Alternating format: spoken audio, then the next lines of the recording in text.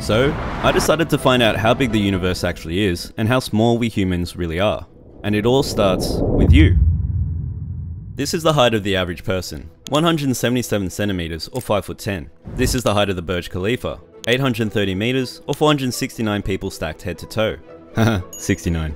Earth's diameter is 12,742 kilometers wide, which means it would take 15,352 Burj Khalifas or 7.2 million people stacked on top of each other to cover the same distance. If that doesn't already make you feel small, Well, I guess that's not much you ever seen, right? then I can only assume you're related to this guy, or this guy. or this guy. But don't worry, we're just getting started. If we zoom out, the distance to the next closest object to Earth, our moon, is 384,400 kilometers away, and represents the furthest that any man has ever traveled into space. A truly amazing feat of human ingenuity of that era. That's one small step for man, one giant leap for mankind. Unless you think they faked it, which is still kind of amazing. But I digress. To further put the magnitude of this distance into perspective, that means you could fit 30 Earths between us and the moon. This is what Earth looks like from the moon. This is what Earth looks like from Mars. And this is what Earth looks like from 6 billion kilometers away. 6 billion. That's 1,561 times further than the Earth is from the moon. You are here, somewhere on this tiny pale blue dot. That's here. That's home. That's us. On it, everyone you love, everyone you know, everyone you ever heard of, every human being who ever was, lived out their lives.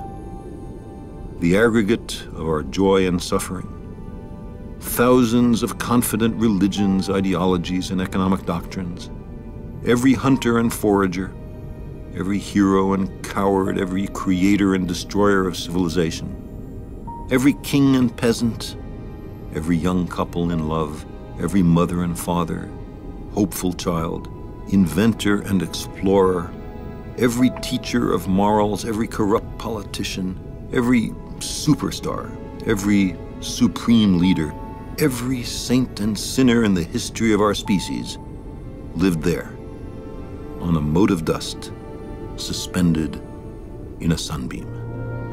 The Earth is a very small stage in a vast cosmic arena. Whoa, that was really deep. Anyway, this is our solar system. It measures about 9 billion kilometers in diameter and consists of the Sun, 8 planets, 146 moons, and a bunch of other space stuff.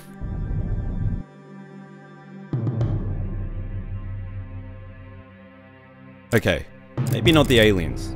Maybe. We are somewhere here, inside this 9 billion kilometer wide solar system. By now, you're probably thinking, Wow. we really are tiny. But this is still only the beginning.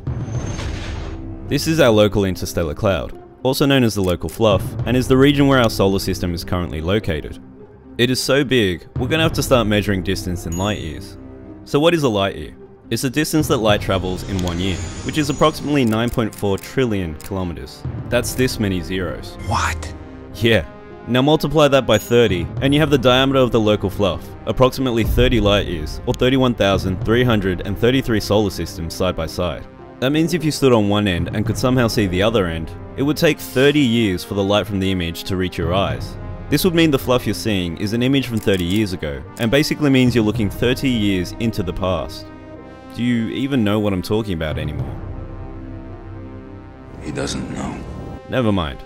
All you need to know is that this giant interstellar cloud is nothing when we zoom out and compare it to our galaxy, the Milky Way, which spans an astounding 105,000 light years from end to end.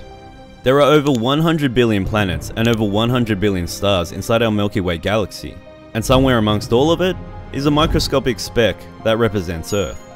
But even this pales in comparison to when we further zoom out to our group of galaxies we call the local galactic group, which consists of approximately 50 galaxies including our own Milky Way, and spans about 10 million light years from end to end. That basically means for us to travel from one end to the other, we need to be moving at the speed of light, which is 300,000 kilometers per second. And we need to be doing this for 10 million years.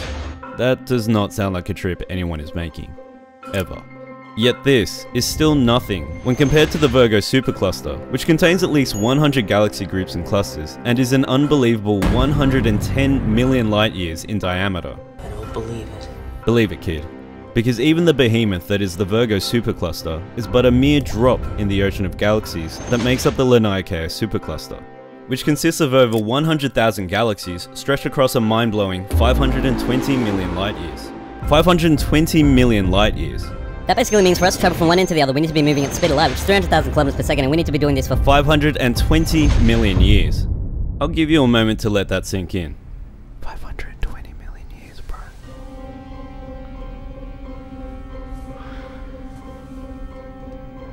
I can't go back, can I? No. Raise your hand if you think you're beginning to understand the magnitude of the universe. Nope, because everything, everything, Everything.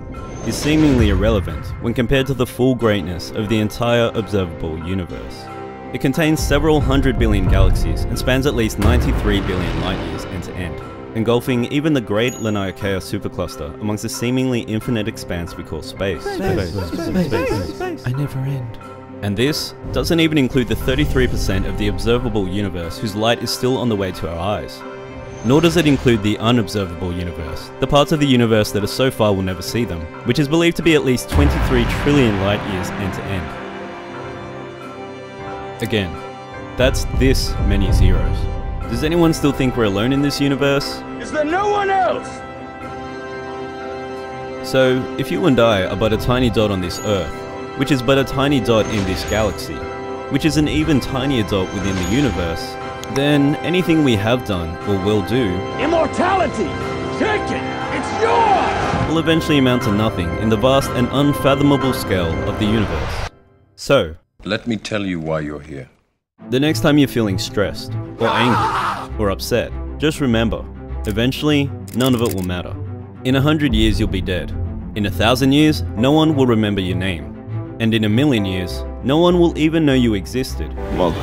So, with whatever short and insignificant time you have left on this wet blue rock, in this infinite universe, you might as well do whatever truly makes you happy. Say that again. You might as well do whatever truly makes you happy.